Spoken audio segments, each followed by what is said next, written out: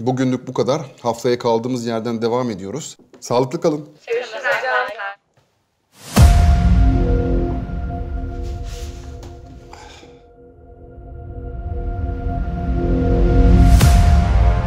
Paralel evrenler gerçekten var mı? Zamanda yolculuk mümkün mü?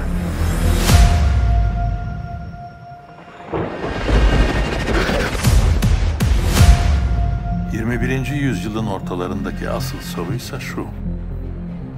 ...bizlere tıpatıp benzeyen bu ikizlerimizle... ...tanışabilir miyiz?